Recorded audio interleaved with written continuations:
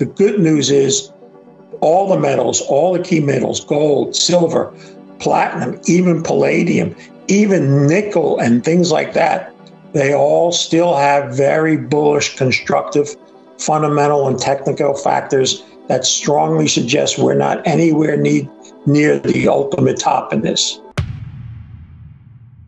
In the world of finance, few voices carry as much weight as Peter Grandich's. With over 40 years of experience in the industry, Grandich has seen trends come and go.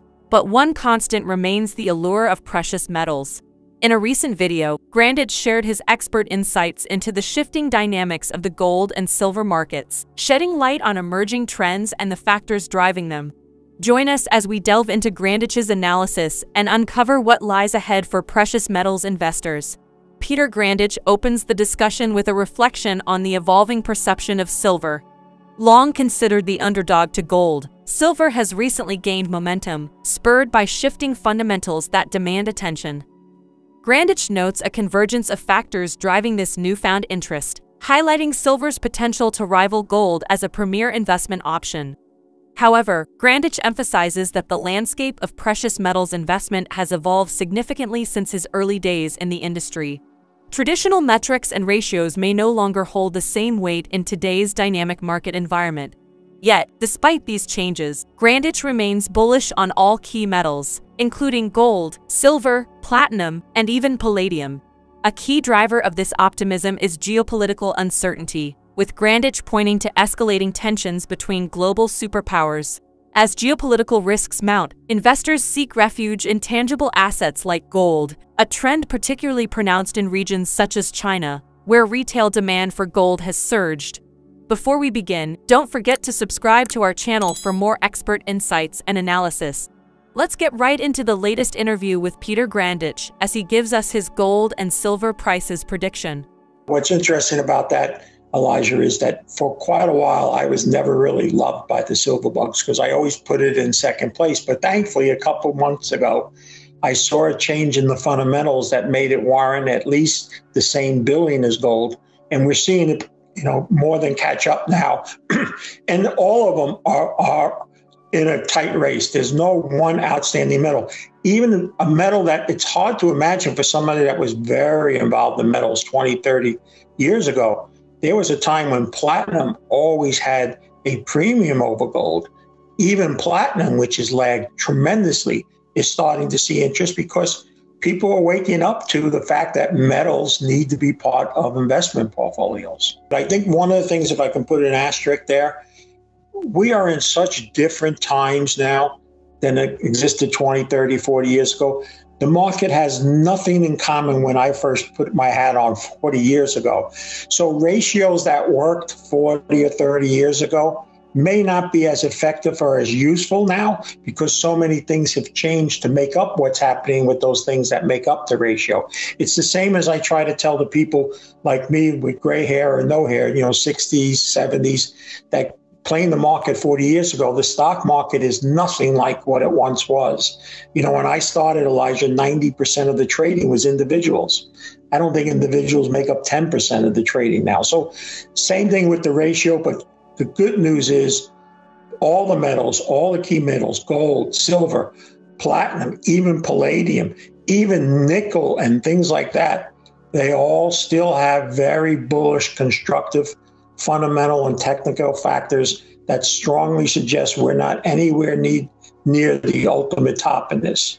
Well, I just think the Russian you know, you can say they were enemies or still enemies, but your enemy of your enemy is your friend. And I, think that's at least as Russia and China looks at it, and the U.S. is uh, person out. I, I, I don't want to get into this. It's always been, and there's a few people that will spend all day on it talking about does the United States still have all the gold that it's had and so forth and so on.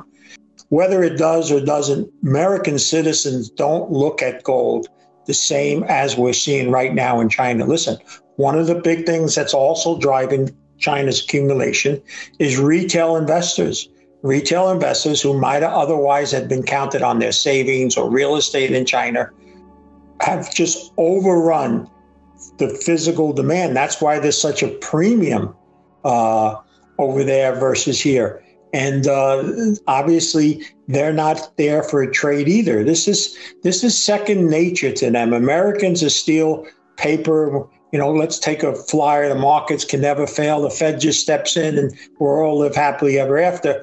But I think the people that are accumulating the gold not only see the world problems, but they see more and more problems in the U.S. I mean, it's getting kind of listen. I don't normally get involved in politics, but I think this warrants it because of what the topic we're talking about. If I'm sitting somewhere outside the United States and I'm watching this president now who's getting to the point where every sentence or two he says is misguided, misquoted, doesn't know where he's walking, doesn't know where he's talking. And then when I look what's in the bullpen, meaning who would replace him right now if something happened, I think I would want to own some gold too. I mean, it's really, really concerning. And that's not because I'm a Trumpster. Everybody thinks as soon as you say that, it's because you want to see Trump win. I'm just looking at what we have to deal with. And I think quietly behind the scenes, especially how now, how we saw we double faced ourselves with Israel, that if you're a so called ally of the United States, you have to ask yourself, are we next? Are, we the next to be thrown under the bus? How we left Afghanistan, how we said one way one day about Israel, the next day we're saying this and all.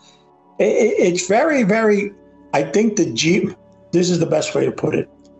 Up until a couple of years ago, the financial service industry in the United States, especially those without the gray hair or no hair, paid little regard to geopolitics. They didn't think it had or will have any impact on the financial arena. That is clearly not the case and is going to play more and more of an impact on us. And again, I'll just point out to the fact that more and more countries around the world are looking to move away from the United States and the US dollar and everything that we say and do is not a bullish factor for US markets if you're someone that still invests for years and not hours, days, and weeks. Grandich doesn't shy away from addressing the elephant in the room, the role of politics in shaping investor sentiment. He candidly discusses concerns surrounding the current political landscape in the United States, underscoring the impact of leadership decisions on financial markets. This candid assessment underscores the interconnectedness of politics and finance, a relationship increasingly influencing investment decisions. Moreover, Grandich emphasizes the ongoing process of de-dollarization, wherein countries seek to reduce reliance on the US dollar as the global reserve currency. This paradigm shift carries profound implications for the future of currency markets, amplifying the appeal of precious metals as a store of value. Its value versus other currency has been basically about the same. But what has continued is less and less usage worldwide as the reserve currency continues. And you know this this thing about uh, de-dollarization and the the talk about it is it's happening every day. It's not just fly by night. And the, we we know that the BRICS are again meeting this fall. There's more and more talk that there's be a lot more involvement of countries. And I think we're going to learn some more about how they plan on doing all this. Whether it's everything that's going to come out, probably not. But all these things play into a role of why the physical market, and, and that's another important point we talked about at the onset, and let's not lose sight of it. It's not a coincidence that when the paper market moved out of London and New York as the only places and dominated uh, the value put on gold each day and moved to the east, especially Shanghai, that has also led to less raids or whatever people want to term it all. And in the last couple of weeks, because you watch it closely like I do intraday, we saw moves where it would suddenly fall 20 or 30 dollars. And in the old days, not only would that go, but it would go lower and it would take days or weeks to rebound. It rebounded in a few minutes. If I'm one of those shorters, if they still exist out there and if they're still able to breathe because they've been crushed if they stayed in this, I'm thinking maybe the time has passed. It may be something for me to look some other place because I don't think they have the influence that they have anymore. And that is another key factor because you and I knew for a lot of years, you've been in the business, your family, uh, Miles Franklin been around a long time. We saw when paper markets were getting crushed, people were just, can I get more gold? It didn't match what was happening. And that was an important part to take out because that's been a fear of some people. Oh, I don't want to get because they always come and hammer it. And there's still going to be people saying that. But we're seeing that even when they try now, they just don't have the effect that they once had.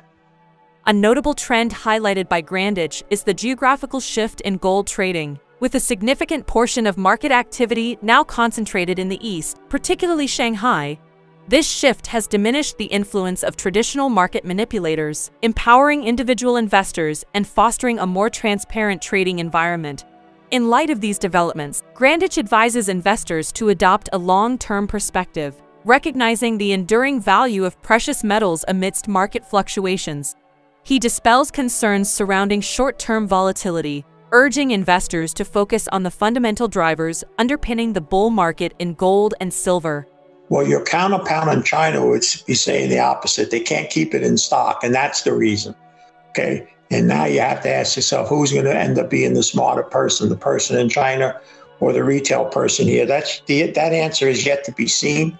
But I would tell you that with all the things that you and I discuss and other things we can, the more likelihood is the next thousand dollar move in gold. And I'm not saying it's going to 3,500, but I think gold had more of a chance of being 3,500 than it does having being 1,500 again.